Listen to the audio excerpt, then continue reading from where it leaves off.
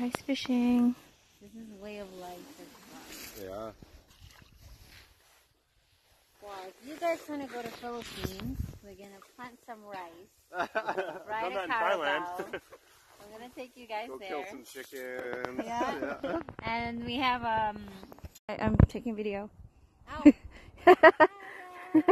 We're here at the mountains and the rivers. I don't know what the name is, but I think Rocher de Rocher de Rocher de Bole. Well, I think that's how it be sounds. And then it it's um, along Bulkley River and another kind of river.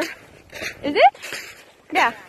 it's a Bulkley River meeting Skeena River. Okay, it's Bulkley River meeting Skeena River, Yeah, Skeena. River, and it's a beautiful place. We're just doing snow showing right now, and with Faye. Hi.